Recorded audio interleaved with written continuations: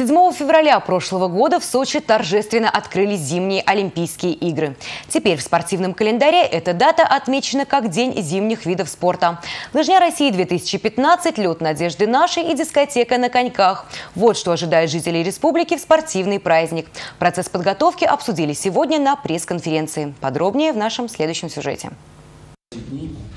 День зимних видов спорта обещает стать грандиозным. Все начнется с утра 7 февраля на центральном стадионе имени Николаева в Новочебоксарске. Здесь в 11 часов пройдут соревнования по конькобежному спорту «Лед надежды нашей», в котором могут принять участие все желающие, в том числе и из районов республики. От участников требуется преодолеть дистанцию в 50 или 100 метров, причем если своих коньков у них нет, прокат будет доступен. Регистрация завершится перед самым началом соревнований, но лучше поторопиться. В это же время в детско-юношеской спортивной школе имени Тихонова пройдет «Лыжня России-2015» среди сильнейших лыжников, а массовые старты запланированы на следующий день. Значит, на сегодня в парке 500-летия, который запланирован на центральной площадке, проводятся ремонтные работы. В связи с этим а, лыжная трасса, которая у нас была постоянно, свое как бы, функционирование прекращает. И на сегодня э, именно поэтому идея проведения в два дня родилась и были определены места, где это будет, и определен состав участников, которые будут участвовать 7 и 8 числа.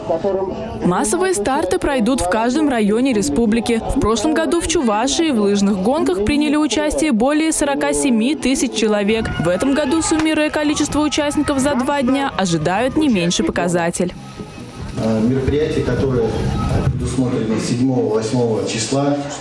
Э, мы уверены, что в них примут участие большое количество э, любителей спорта во всех муниципальных районах, городах и районах нашей республики.